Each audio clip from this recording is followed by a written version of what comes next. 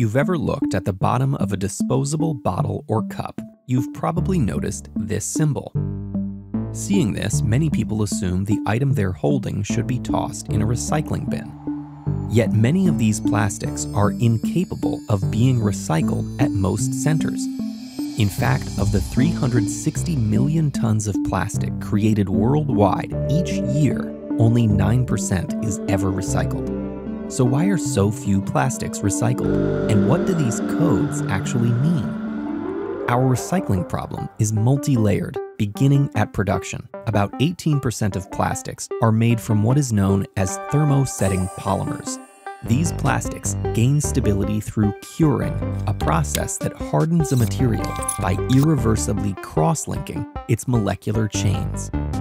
The very properties that make thermoset plastics so useful in that they keep their shape and integrity under extreme conditions mean that they can't be broken down and rebuilt by the vast majority of recycling plants.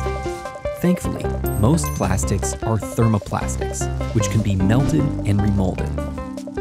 But this category encompasses a variety of materials with unique chemical structures, weights, and properties, all of which require different conditions for recycling. As a result, only some of these thermoplastics are accepted at most recycling centers. Which brings us to our next problem, the confusing code system. Developed and introduced by the plastics industry in 1988, this code was presented as a way to help consumers and facilities sort their trash. Each number indicates the material the plastic is made of, known as its resin. Some resin numbers are recyclable at most centers, while others are not. And yet within this system, all numbers are surrounded by the universally recognized recycling symbol, misleading consumers into thinking that many unsalvageable plastics have a chance at a second life. And just because a technically recyclable resin makes it to a recycling bin doesn't mean it will continue its journey. Plastics often contain multiple resins, are mixed with dyes and additives, or are affixed with difficult to remove stickers and labels, all of which can cause them to be rerouted to the incinerator or trash bin. In short, many companies don't design packaging with recovery in mind. Even under pristine conditions, plastic resins can only be melted down and remolded a handful of times, as their polymers degrade with each use. If all these issues make you feel as if recycling plastics is infeasible, you wouldn't be the first. This reality was well known to the plastics industry as early as the 1970s. Despite their doubts that widespread recycling would ever be economically viable, the industry threw millions of dollars into ad campaigns.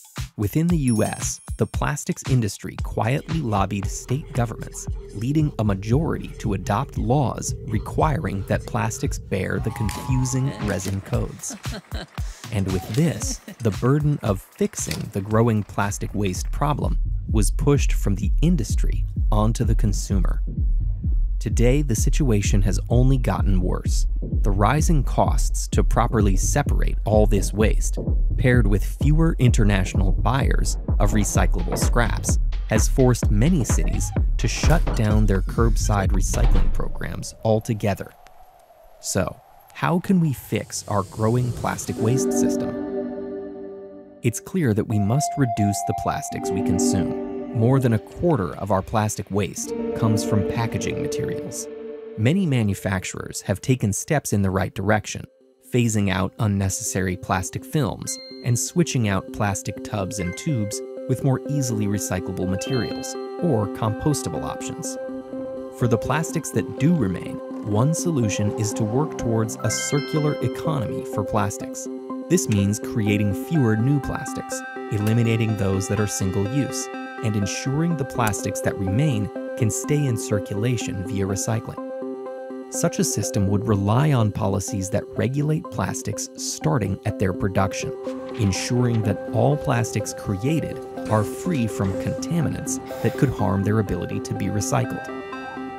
In the meantime, many experts believe the current resin code system should be eliminated and swapped out for clear, simplified, recyclable versus non recyclable labels. This would help consumers more easily sort their waste, but more importantly, allow them to make informed decisions at purchase, ultimately putting the pressure back on manufacturers to ensure a recyclable future. Did you know a dead battery is actually not that different from a fresh one? Learn what makes batteries uniquely reusable with this video, or visit ed.ted.com slash earthschool to check out our climate action guide. No matter your level of influence, you have a part to play in protecting our planet.